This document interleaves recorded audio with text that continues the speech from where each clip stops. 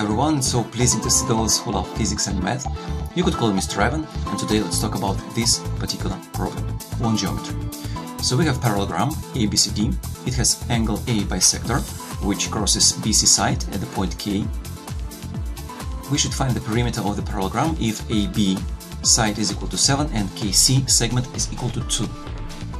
What should we do? First of all, let's pay attention to what we have. What is given to us? Parallelogram. What does it mean?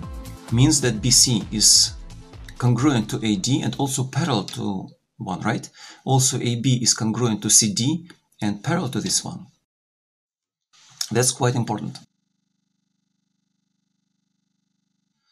Now, uh, if we look at the AK segment, it's angle A bisector. Cool. But what else does this mean to us? Let's look from the higher perspective.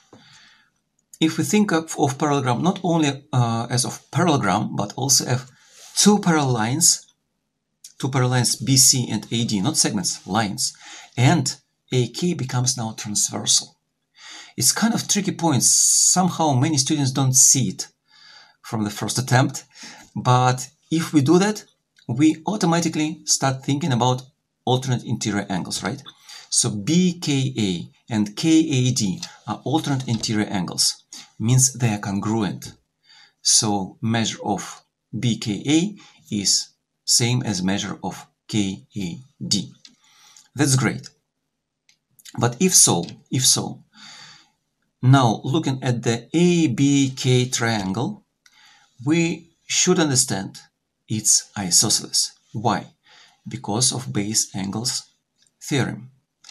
If the base angles of the triangle are congruent, means triangle is isosceles. What does it mean? It means that AB is equal to K uh, to BK, right? And we could now write that BK is also equal to 7. And that's quite cool. Uh, furthermore, now we know that BC is equal to 9. And that's great, because BC is equal to also AD, and AD is also equal to 9. And as we said in the beginning, AB is equal to CD, means CD is also 7, and we have all the sides known now, right? The only thing we have to do is to find the perimeter to add them up. So perimeter of ABCD is equal to 7 plus 7 plus 9 plus 9, which means it's uh, 14 plus 18, and it's equal to 32. That's it. Nothing else more complicated or special. So this is how we deal with this problem. And one key point is just to look from the higher perspective or to take it as a bigger picture, not only parallelogram but something else.